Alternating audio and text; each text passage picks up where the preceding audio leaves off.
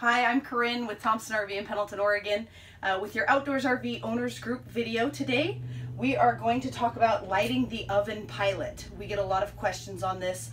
The old style trailers, you just had to turn it to pilot and light the pilot light and it was easy.